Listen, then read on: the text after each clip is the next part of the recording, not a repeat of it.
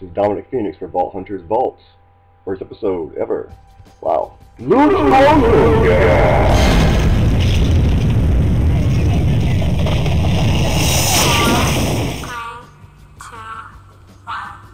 Alright, so most recently, my greatest achievement, I finally reached Overpower 8. Uh, I'm just ecstatic. Uh, and I have to say that Planeswalker was the one that put me on that path. Um, you know, I wanted to get a chance to try out a lot of the guns. Uh, I had multiple copies to do that with, so I thought that was great. Um, it's just awesome. Like, I mean, shotguns, snipers, everything. Uh, my favorite being uh, the Unkempt Harold, possibly.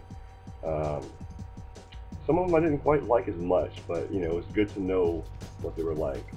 Um, now, you might wonder how I would actually get all this in the uh, in the backpack. Initially, I thought he was shopping a very small amount, and I would just pick a few that I liked, but no, this is uh, an explosion. So um, what I had to do was use a overstacking technique. Now, I'm going to show you how to overstack. It's very simple.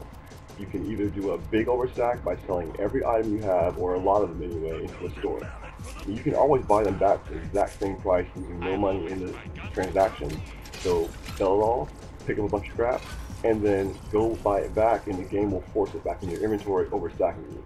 Now, a safer way of doing it, because doing that can sometimes, I believe, you know, the game will actually have, uh, it'll, it'll delete some of the items. Uh, just sell the ones that are equipped currently. That way, say you have uh, full items that you want to pick one gun, sell one gun from your inventory, from your actual equipped inventory, and then that hand will be empty, you can pick the gun up. Alright, well I hope that is uh, good enough for you guys to check it out. Recently found Michael Mamaril.